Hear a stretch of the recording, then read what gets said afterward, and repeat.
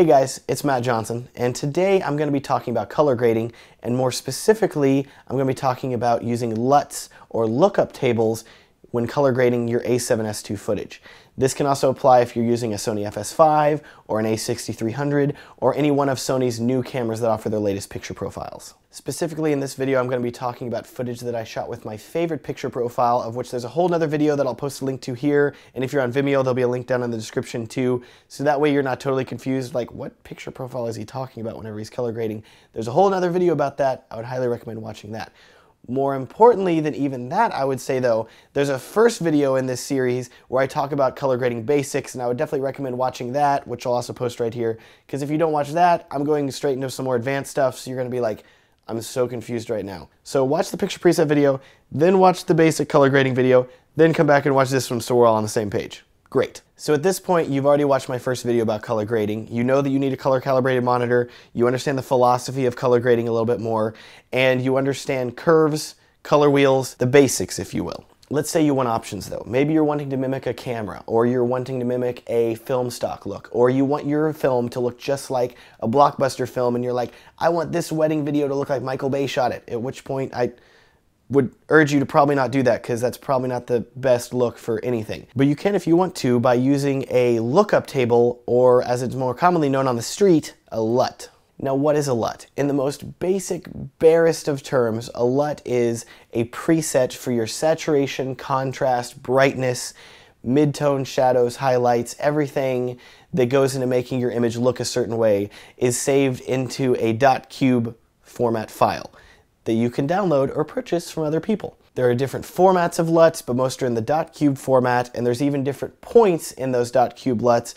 There's 17 point, 33 point, 64 point, 128 point. It can get very complicated very quickly. What you need to know is that Premiere can handle most cube files easily, and you need to keep track of which cube file you're using for which video. So that way, if you're, say, working on an editing project and you pass it off to a friend, make sure you give them the right cube file for the color grade so they're not like, this looks completely different make sure you have the same thing. What you may have heard is you can just slap a LUT on any video and say, that looks great, post it to YouTube, no need to color grade, and nothing could be further from the truth. Because the way that LUTs are made is that they are saved using certain shooting scenarios. So while I may be using a LUT that's made for the a7S and the Cine 4 picture profile, it is not taking into consideration the lighting of the day, whether I'm indoors, outdoors, whether it's tungsten lighting, incandescent, fluorescent. So you need to be aware whenever you apply the LUT that you still need to go in and color grade the image to make it look as good as it can. At this point, you're probably thinking, okay, Matt, I got it, great, but what LUT should I use? There's a whole butt ton of options out there, at which point I would say, actually there's a metric butt ton, not just a butt ton,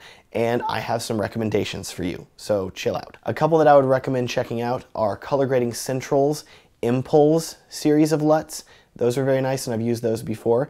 Another that Craig Adams turned me on to at Wedding Film School is from a company or group or something like that. Their website is IWLTBAP.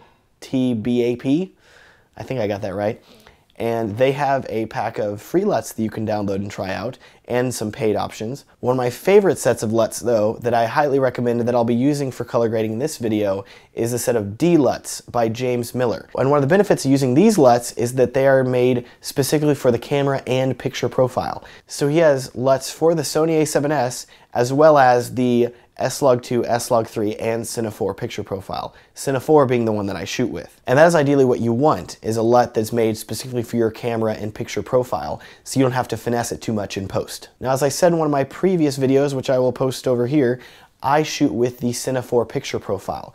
And I learned about that picture profile from a guy named Marion Breithauer, who's super talented and awesome. One of the benefits of the Cine 4 picture profile that he said was that it's capable of using both S-Log3 LUTs and Cine 4 LUTs when color grading. Now, I have not found that to be the case whenever I'm color grading in Premiere. He's editing on Final Cut X, so it could be different. But whenever I try to color grade the Cine 4 picture profile using S-Log3 LUTs, things end up looking a little contrasty and weird, and I haven't quite figured out how to match the levels properly to make that look good. So in my case, I've been using LUTs that are made specifically for the Cine 4 picture profile, and they've been working very well. If I do figure out how to color grade S-Log3 LUTs using the Cine 4 picture profile in Premiere later on, I will make a video showing how to do that. But like I said earlier, I'm going to show you how to color grade using some LUTs made by James Miller specifically for the a7S and the Cine 4 picture profile. Here we are in Adobe CC 2015 As you can see, I'm using the 2015.2 release just like my previous video. And this is actually the same project. But instead of color grading it from scratch, we're going to be using a LUT. So just like before, I'm going to assume you know how to import footage and I'm going to assume you know how to create a timeline. So we're going to jump straight into it. But let's pretend that you're done editing your footage and at this point, you want to start color grading. I have gone through my footage here and I have picked out my hero shot, which is my favorite shot, the shot that I believe exemplifies my video the most, shows off the most about the shadows, midtones, highlights is a good example of what I will grade. And if I can make this look good, I want the rest of my film to look as good as this. So with that, we're gonna go to the color tab up at the top. And that brings up this whole Lumetri color panel, basic correction, creative, curves, color wheels, and vignette. I went over curves and color wheels. Please go back and watch that video if you have not. But in this case, we're gonna go and select Creative, which is a new tab that we did not really work with before. And notice at the top, it offers to let you put in a look. In this case, a LUT. Once you've bought DLUTs and you follow James Miller's installation instructions, whenever you click the Look download menu here, it brings up a whole buttload of options. Some of them are from Adobe and built in already. Some of them are for presets that I have not messed with yet.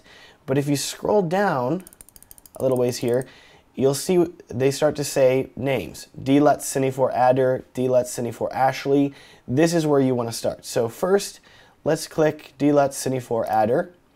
And you'll notice that immediately applies a look to the footage and into the preview window here. And this is a little too washed out for what I'm looking for here. I do like the flatness that's added to the shadows, but I'm not a huge fan of the look and I don't think that that's really going to exemplify what I'm going for in this wedding film.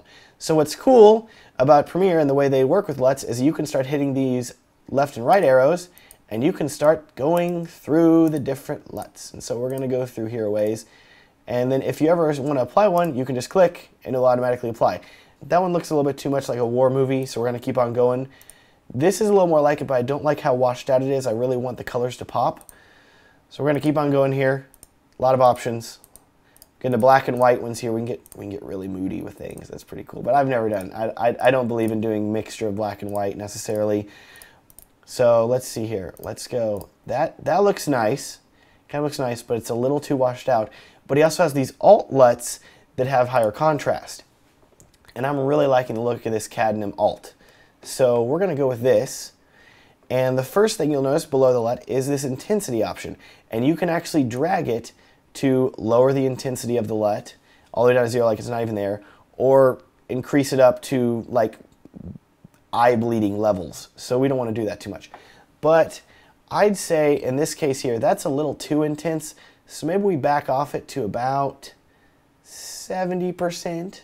Yeah, that looks good. It's all just in your opinion what you want to do. Next, we're going to go down and select our friend curves.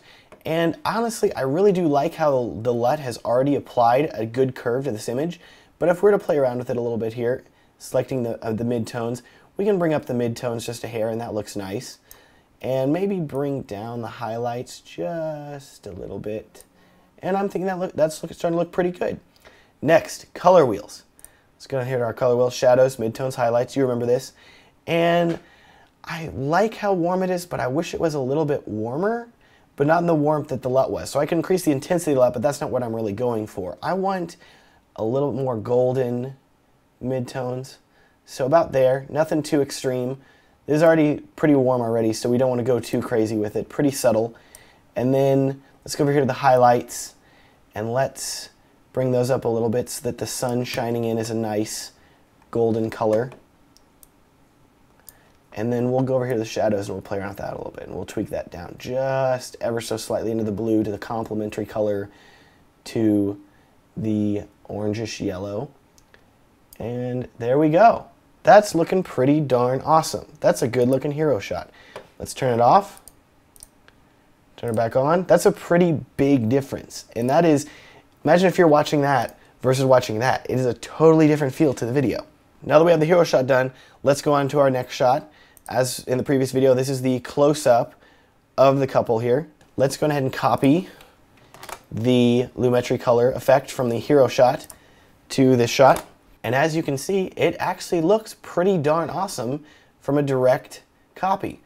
In this case here, I still want to go over to the curves and maybe drop the shadows down just slightly get those hair colors down just a little bit. That's looking nice. And let's bring down the midtones just a little bit so they're not glowing. We don't want glowing faces necessarily. Otherwise, as you can see, we're not having to do nearly the amount of drastic changes that we were from a flat grade. By using the LUT, it provides a great starting ground for our coloring. Let's look at our color wheels here.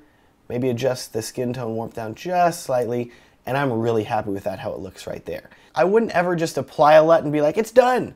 But having a LUT is kind of like having training wheels for the rest of your color grade. And so it gets you 60% of the way there, 50% of the way there. The LUT gets you halfway there, and then color grading gets you the rest of the way. Let's look at our next shot here. Here's Paul indoors, getting ready, looking dapper.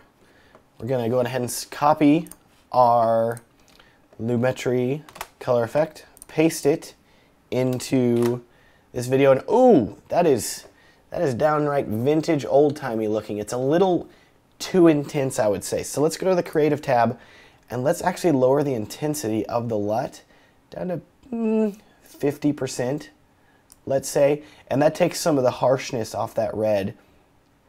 And then let's go to our color wheel and let's bring a little less warmth out of the midtones. And now he's looking more naturally colored. He's not quite so crazy. And then let's go up to our curves here and let's see if we can bring a little bit more detail out in the, in the face. See, that's lighting up the side of his face there just a little bit. So he's looking pretty good. And then, oh, see, you don't want to go too extreme. It's, it's all very, very subtle. Sometimes I, when I'm talking and doing this, I feel like Bob Ross. Like, we're going to paint some happy trees here, guys. We're going to color some happy Pauls. Okay, so that looks pretty good there. I like that look a lot. And I feel like that matches well with the other stuff. Let's go to our last clip here, and this is the nighttime reception dancing with all artificial lighting. And we'll copy our Lumetri color, and we'll paste it, and wow, that is kind of like how it happened with Paul. You end up with a lot more orange and reds than you really want. So we're going to go back up and we're going to drop this back down to about 50%. And as a shortcut, what you probably could have done is just gone to Paul's clip and copied that look and pasted that to this one. And that might have been even quicker. But we'll do that. Then we're going to go down. Let's reset this color wheel down just to beginning here. And that's looking a little bit better. And let's reset the highlights. Bring the highlights back up just a little bit warm. And what I may do here even is bring the midtones ever so slightly down into the blue and that'll affect our skin tones nicely and so they don't look too orange or anything like that. Nearly just reset them, but I think that looks pretty darn good. Next, let's go over to our curves, drop the shadows a little bit, keep the midtones about where they're at. I'd say that looks pretty darn good. It matches our other shots. So let's play everything back to back here, see how it looks hey, that looks pretty awesome. Good job, LUTs. And one of the other benefits of LUTs is that you have such a variety of starting points. So you have like nearly 100 different LUTs just in this pack, and you can pick one from the start and start color grading and really dial in exactly what you want and tweak it to get the exactly the image that you're looking for.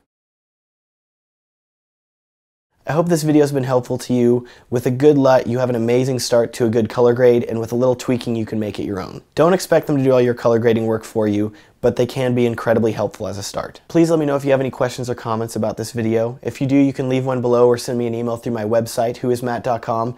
You can also check out my wedding film production company, Filmstrong Productions at filmstrong.com. Thanks and have a great day.